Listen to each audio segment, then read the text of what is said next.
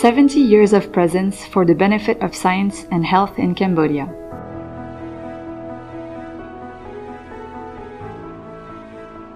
Created at the request of the Kingdom of Cambodia's authorities in 1953, the year of the country's independence, the Institut Pasteur du Cambodge commemorates this year its 70 years of presence in Cambodia.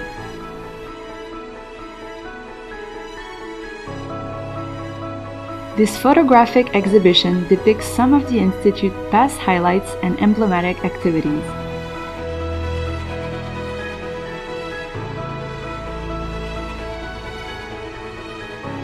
Located on three different sites throughout its history, the Institute has always focused on major public health issues with a unique commitment to research, notably in the fields of infectious diseases such as rabies, HIV, dengue, malaria, influenza, avian flu, and most recently COVID 19.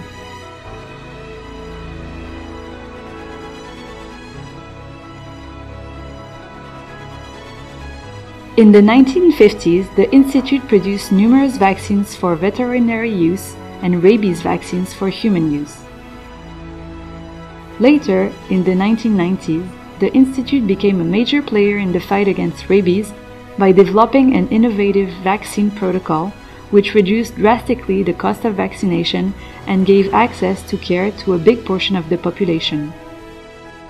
Today, more than 60,000 people exposed to rabies are vaccinated each year.